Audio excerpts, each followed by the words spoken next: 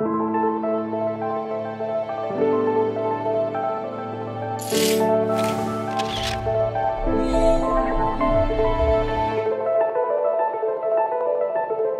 golden poison dart frog packs a powerful poison punch.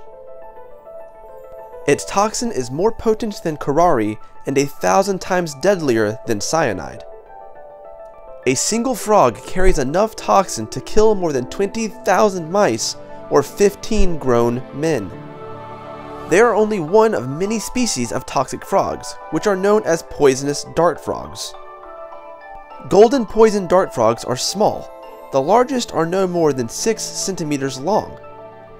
How and why did these tiny, beautiful creatures become so poisonous? And how do they resist a toxin 200 times more powerful than morphine? Unless you are planning a trip into the tropical jungles of Central or South America, you don't really have a reason to fear these golden poison dart frogs. And even if you do encounter one, if it bites you, you don't have to worry. That's because they're only deadly if you touch them.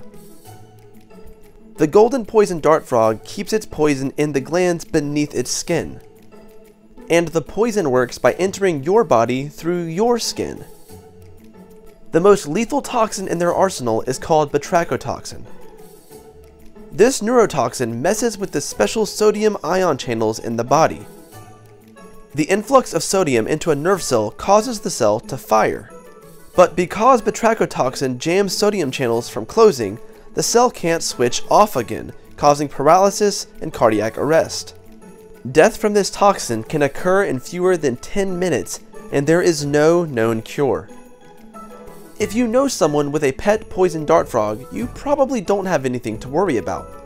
This is because, in captivity, the diet of the golden poison frog prevents them from being able to create the toxins. This is very interesting because it means that golden poison frogs don't actually make their own poison. In the wild, golden poison dart frogs eat beetles and other insects that produce powerful toxins.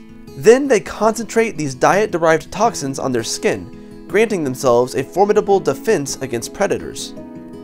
The frog's other weapon is its color. Poison dart frogs are brightly colored with a wide range of patterns. Their colors include yellow, white, light green, or orange. In nature, bright colors are often a warning sign. Many animals are dishonest. They boast bright colors, yet pose no danger. However, golden poison dart frogs are not bluffing. Their colors send a clear and honest signal that would-be predators should avoid them. Remarkably, their nervous systems have changed over time to fight off the powerful toxins, an extraordinary example of evolution in action. It turns out the frogs avoid batrachotoxin effects thanks to a single mutation in their version of the sodium ion channel protein. This mutation doesn't alter the properties of the sodium ion channel, but does create a resistance to batrachotoxin, meaning that the frogs are free to accumulate it without it killing them.